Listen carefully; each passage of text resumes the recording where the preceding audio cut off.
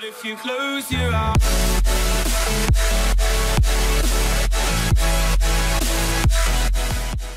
There are many different options when it comes to formatting your pivot table. We're going to start with the different pivot table styles. You can see the many different options available to you on the Design ribbon under Pivot Table Tools. Scroll through the styles to see what appeals to you. The font, outline, and cell fill color will change with each style.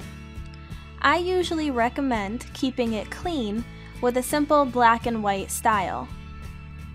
You'll most likely end up adding color to your tables in other ways or through graphs, so it's nice to keep the pivot table simple to avoid making your exhibits too busy. The style I suggest looks like this and is usually the first option you'll see.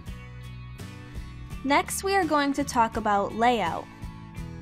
You can access the options by going to the Report Layout dropdown. You should see three options, Compact, Outline, and Tabular.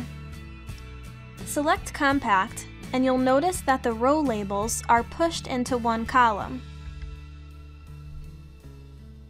I don't particularly like this layout because it can start to get lengthy when you're using multiple row or column labels.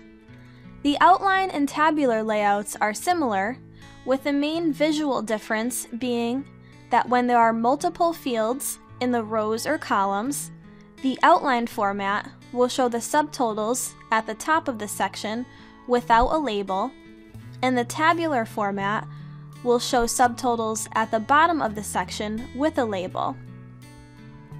If we select Outline Format for our pivot table, you can see that the subtotal is being shown at the top of the section without a label.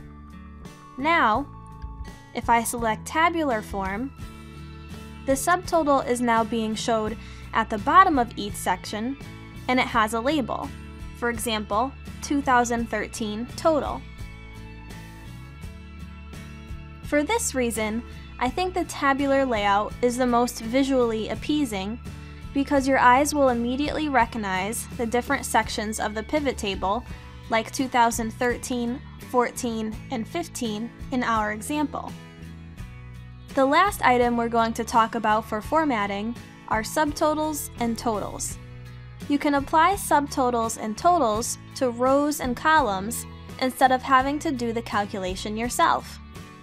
You can turn subtotals and totals on or off by going to the subtotals and grand totals drop-downs.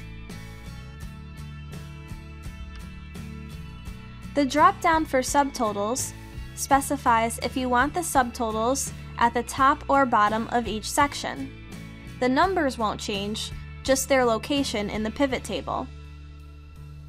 You'll also see a drop-down for grand totals, which allows you to select if you want to see totals for rows, columns, or both.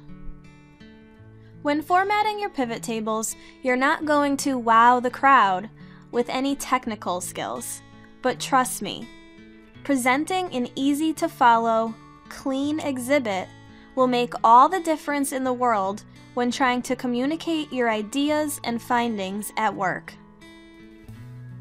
But if you close your eyes